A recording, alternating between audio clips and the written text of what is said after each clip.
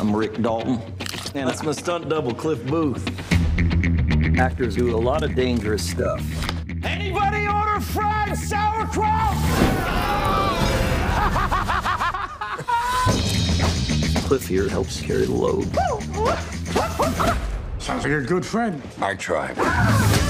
You know who I got living next door to me? I'm Sharon Tate. She's the hottest thing in town right now, probably the world. Man, Uh-oh. Here comes trouble. All the shooting. I love that stuff. What did Charlie say? He said, kill everybody. What's the plan? let's get him. There's an element of true combat. If you don't beat him, ah! he kills you. Not when Rick Dalton's got a shotgun. I got one crazy weapon you do not want to be on the wrong side of.